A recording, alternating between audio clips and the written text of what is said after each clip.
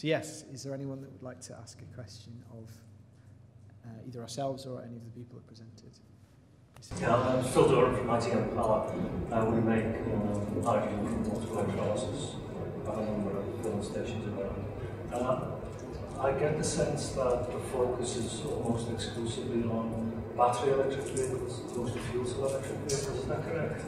Uh, no, so there's no exclusive focus on electric vehicles in this. This is about innovation in mobility. Um, we, uh, Dundee has achieved extraordinary things with electric vehicles and you know, any opportunity to continue and expand that is obviously very welcome, but no, there is no, um, there's no restriction on the kind of technologies and fuels that would be supported going forward.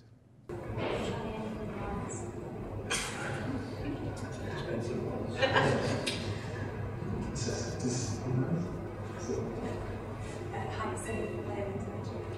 wondering, do you, do you anticipate several winners in each lot? Do you have an idea of size of each project? That's an excellent question. Um, yes, so the question was, do we expect several winners in each lot or is it a single supplier for each one? Um, we're, we're really looking forward to finding out what kind of proposals that we get. Um, you know, being straight down the line, the ideal project would be one where the suppliers are co-investing in it. Um, so if we can ask you to be realistic about how much money you actually need to, to achieve this in the city. Um, we also are keen to give opportunities to um, smaller organizations that might have you know smaller opportunities that they you know they have a technology they have a solution they just need a city to test it in or maybe access to uh, to the support that we can offer them to help them work with the, the council or other players or actors in the city or access the city's data. Um, so we're, we're interested in ideas. The, the, the money that's advertised is the total amount of money that we have against each of the, the funds. Um, having said that, we wouldn't rule out, you know, if we get an excellent quality bid that, you know, meets the, the, the top whack of the funding and that's the, the, the, the um, project that comes out best, then, then we'd look to support that. The procurement will be um, heavily weighted towards quality as well, so we can, we can factor in those kind of, um, those kind of opportunities.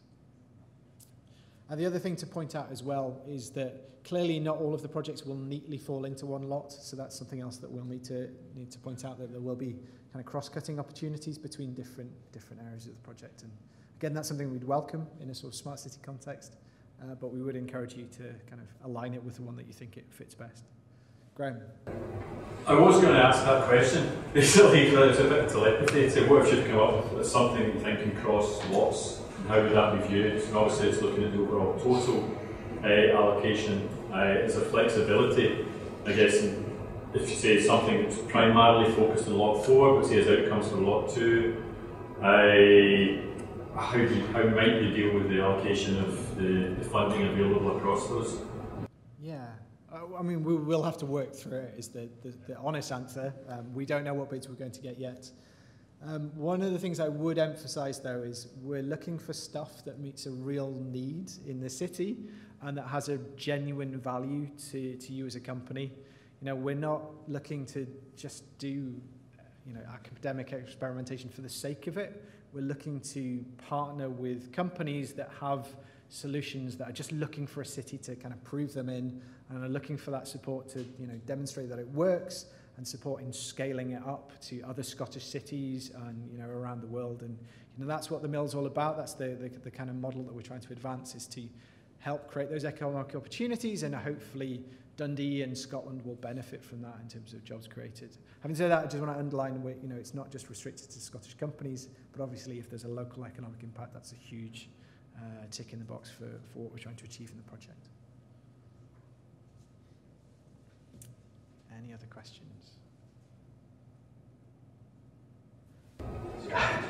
John, I'm not sure you're allowed to ask No, no, I just want to speak about bike share. Okay, okay, okay. Do you want to take the stage, actually? Yes. With zero money attached to it is bike share. Dundee is going to be a mecca for tourists in a couple of years' time. At least that's what we all hope. And I think, you know, we really need to have some bike sharing in the city. We have no bike sharing really to speak of in Dundee. There's a couple of bike hire opportunities. And I am really hoping that, like many other cities across the UK, we will have a bike sharing scheme that comes to us through this opportunity and says, you know, this is what we can do. Although it's got zero money against it, I'm, I'm, I'm not uh, stupid enough to think that we will get it absolutely for no money, but, uh, you know, there's a lot of active travel money in Scotland at the moment. The, the government, Nicola Sturgeon Programme for Government, doubled the amount of active travel money from 40 million pounds to 8 million pounds. We, we're spending a lot of money on various bits of investment. That coupled with the tourists, we've got two universities here, two universities here, loads of students. Uh, I'm really hoping we have something. We're going to have an active travel hub that's been funded by European money just on the opposite side of the V&A, so between, you know, between the river and the Slessor Gardens, there's going to be a, a, a sort of a public space, and within that there's going to be a sort of a cafe active travel hub from where I think uh, bike hire schemes can be sort of centred and based. So there's a real opportunity. Docked systems, dockless systems, I, we're open to offers and we're very happy to hear from anybody who's thinking about uh, offering that service to, to Dundee. Just, just a, a quick one. The, the red bikes that are at the train station just now, are those Navigogo? They are not those, are Abellio's uh, bike and go scheme, which is, uh, you know, I mean, I come, come through the train station. I'm not sure how successful they are in terms of usage. Uh, but they are they are part of the ScotRail franchise. ScotRail, when they got Abellio got the gig for ScotRail, they said they would roll out Bike and Go to multiple stations across Scotland. So that's where they've come about. There are some Navigogo bikes in Dundee right. Oh, sorry, beg your pardon. There are some Next bikes in Dundee right now that are here very temporarily as part of a Navigogo project that some of you guys might have heard about. And if you walk into town, you might pass them because they're just by the Malmaison Hotel, which is just about a two minute walk from here. But they're only here from through the winter and they'll be gone again in the spring back to Glasgow, Stirling, or wherever they came from. But uh, so we don't have any ties with any bike sharing scheme at the moment. We have, and we're quite interested to hear what what's out there. John, the new space, Tactran and Abellio for the bikes the train station as well? That's right. So we've got a brand new railway station being built across the road and tucked in behind the uh, the railway station, which is being built by Dundee City Council, is going to be a, a brand spanking new, huge bike shelter, which is half paid for by Abellio and half paid for by Dundee City Council, and that'll be another asset to have somewhere where people can actually leave their bikes near the railway station. Is that what you mean? Tactran, but yeah. Uh, Tactran paying for it. Good stuff, Tactran. Thank you very much. Okay. I, don't- I don't catch up. Okay.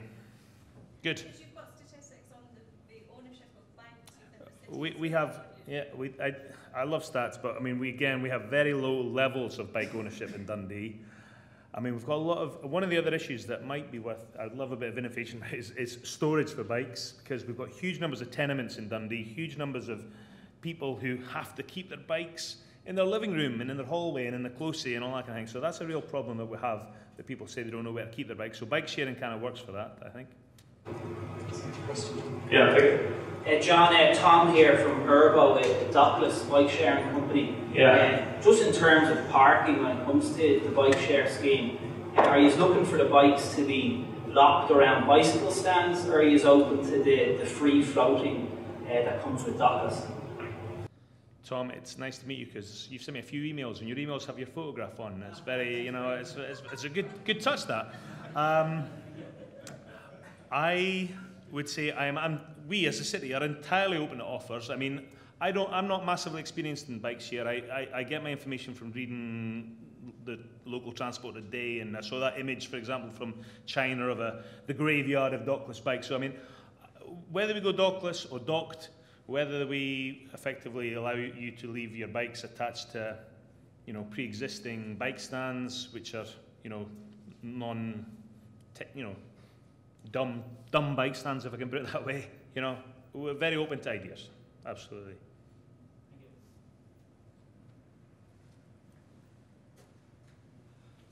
And although the, uh, the, the kind of the, the bike sharing thing is, is sort of a, I wouldn't say it's an outlier, but it's you know it's quite a well contained thing. Um, one of the things that we can offer through the resource that we have in the mill is to help you better understand those opportunities.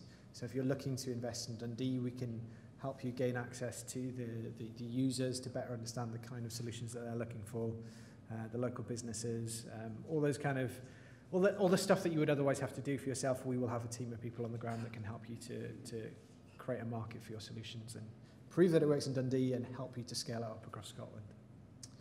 Questions? Try. So, Keith Stark from Enterprise Park. Are you expecting people to form consortiums where they can, they can find, find part of the solution the lots before they go to tender, or would you, when they can't? Because John's brief was very much around active travel and shared transport, where, where you can't um, cover the whole part of the lot, but you can cover part of that lot. Are you expecting people to form consortiums before you go to tender, or is that something that you would facilitate? Um, so I think there's, there's, there's probably space in this project for all kinds of solutions. So um, you know, John set out a compelling vision of what he's trying to achieve, and we encourage people that try to meet those solutions. Um, John's got a huge portfolio, and there's a huge portfolio across the council as well. So I think you know, uh, I wouldn't. I think there's space for all kinds of things, so don't be put off if the you know the keyword that you're listening out for today wasn't mentioned. Please don't be discouraged from bidding um, if that's the case. Uh, consultants would be great. It's not, I, I, I think again, I'm, I don't want to sound like I'm restating myself too much, but we are not. It's not innovation for the sake of innovation. So the consortium makes sense because your business priority is to deliver this solution in a certain way, and you're trying to open up the market for yourself in that area, and that's going to you know, doing this in Dundee will improve the transport infrastructure and services in the city um, and lead to commercial opportunities for your business that we can help you to scale elsewhere, then, then please do feel free to, to work with partners on that case. But that, that's not something that we would necessarily look favourably or unfavourably on. It's, it's not something we would consider. I think the other thing that's worth mentioning is the reason that we're procuring all of these lots at the same time is that we're looking to make connections between the different suppliers. So our strategy is quite simple. We're looking for a critical mass of good stuff in the city.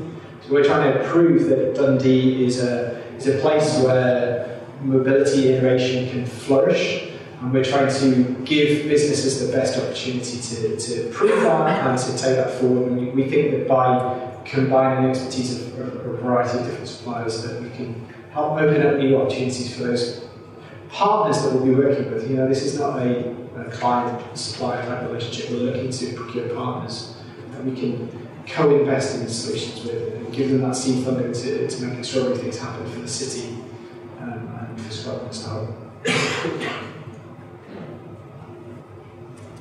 Yeah, Neil Gardner from Tactran, uh, Senior Partnership Manager there, and also uh, Team Lead for Connected Tay, um, Tay Cities Deal.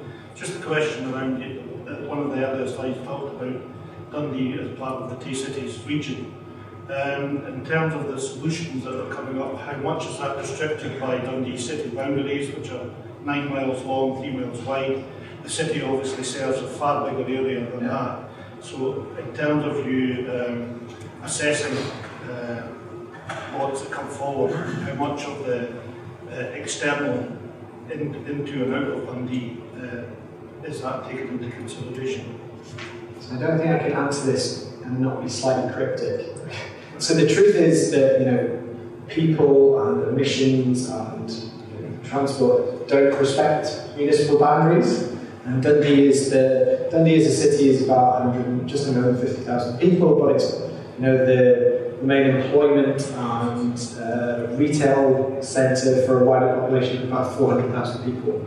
Dundee is about an hour and a half from pretty much everywhere in Scotland, you know, the main population centres in Scotland. So strategically located in the, the national infrastructure network. And that's really, really important to the city and why Dundee is an ideal test bed for a lot of these, these solutions. Um, there is a big focus on, on regional integration. Lots of extraordinary things happening around the city's deal. For anyone who doesn't isn't aware of that, that's that's Dun, Dundee, Perth and Kinross, Angus, and, and Fife as well as a, as a government. Um, so I would look at that more as an opportunity to easily scale up some of these things, because the reality is that the, the funding for this is coming from, from Europe, the ERDF, via the Scottish Cities Alliance. Um, and the match funding is coming from Dundee City Council. So it's really, really important that these, these investments deliver for the city of Dundee.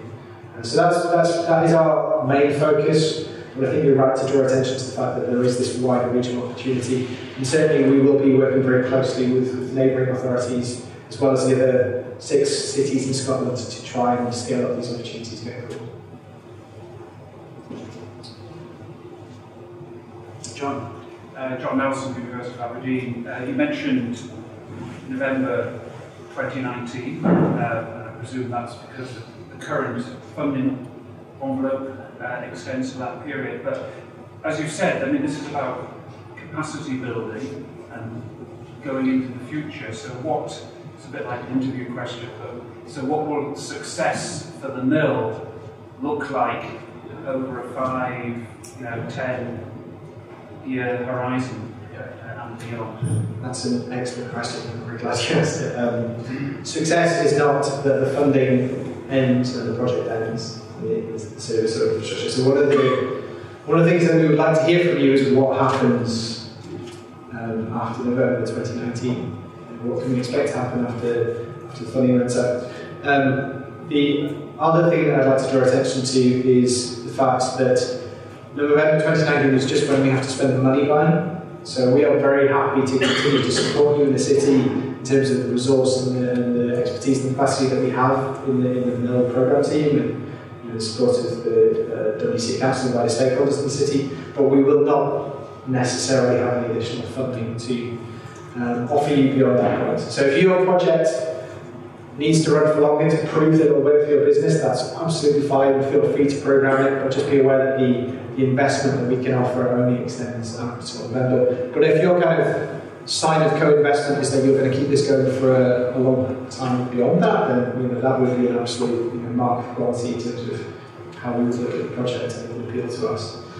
The other thing to point out is part of the offer around the mill, um, as I've said many times, it's not just about the money that we can give you, the expertise. And the team that we have have a huge amount of expertise in accessing funding, um, running innovation bids. Paul, who is program manager, is involved in setting up Transport Systems Catapult, who's head of innovation projects at Dynniq, which I'm sure many of you know. So Ian has an astonishing track record of, of bringing big innovation projects together and, and the funding, so we will provide support to do that. Same Simon um, was part of the 24 million pound Future City Glasgow project and has been instrumental in securing big investments into smart city type initiatives. And the wider team at Urban Foresight beyond kind of our office in Dundee um, is also going to help with this, as well as the excellent offices across Dundee City Council and, and uh, Scottish Cities Alliance, the other cities. So please um, recognise that part of the offer is not just the money, but also the support that we're going to offer to help make these projects more than just a kind of pilot, but into something that has a real transformative impact on the city, hopefully on your, your, your organisation, um, and creates real opportunities for, for Scotland.